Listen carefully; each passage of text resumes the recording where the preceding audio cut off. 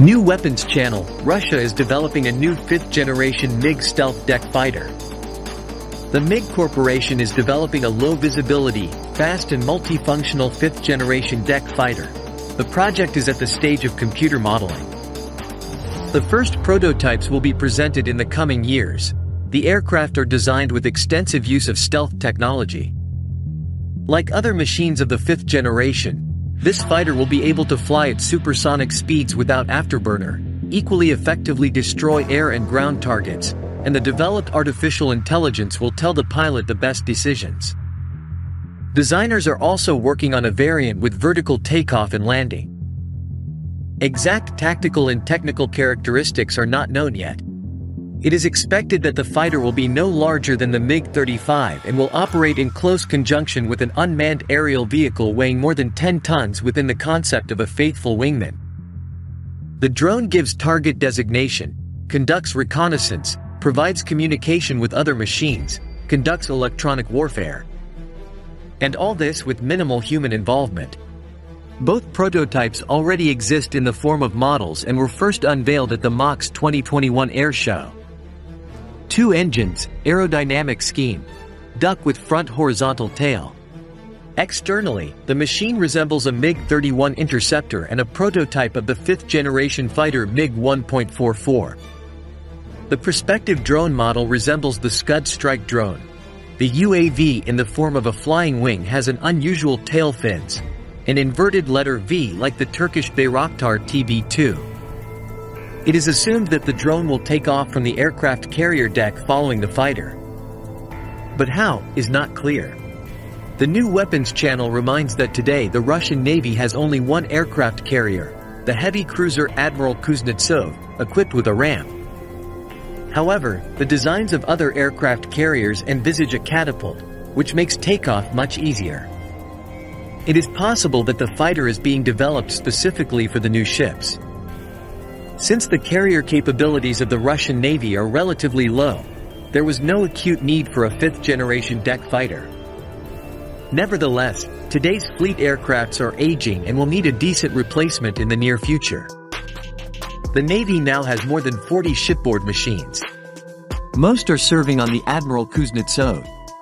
Apparently, the experience of their operation is used in the creation of the new MiG. The main deck carrier of the Russian fleet is the heavy Su-33. The Navy has 19 of them. From the basic Su-27 are distinguished by increased thrust-to-weight ratio for short takeoff from the deck, reinforced landing gear struts, special piloting and navigation equipment, folding wing and horizontal tail consoles to reduce the size. In service since 1998, they underwent a baptism of fire in November 2016 in Syria. The sailors also have 19 light MiG-29Ks and 4 combat training MiG-29KUBs.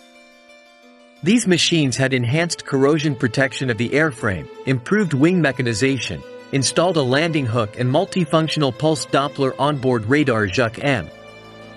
Armament, guided missiles RVVA and R-73 for air combat, anti-ship X-31A and X-35, anti-radar X-31P and corrected bombs KAB 500 Kur. Like Su-33, MiG-29K first tested in combat conditions in Syria. Russian aircraft builders are experienced enough to build a deck plane from scratch, even with vertical takeoff and landing. In the early 1970s, the Yak-38 attack aircraft was developed for aircraft cruisers. Its uniqueness lay in its propulsion system, which consisted of a lift marshal and two lift engines. Yak could land on the deck even in a serious storm. Specially for the attack aircraft, the external removable cannon installation was designed. A double-barreled 23mm gun with a firing rate of 3,400 rounds per minute. In addition, the Yak-38 had guided and unguided missiles as well as free-falling bombs. Yak-38 had a small combat radius of about 200 kilometers. It had no onboard radar, so the attack aircraft could conduct air combat at a very short range. Finally, the plane had a high failure rate. Out of 231 produced aircraft, it lost about 50.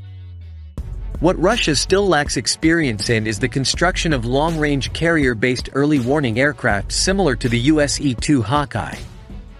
They significantly increase combat capabilities of the wing. They detect targets on the far approaches to the aircraft carrier and give target designation to fighters. Without them, the deck pilots have to rely only on the radar stations of the carrier and escort ships.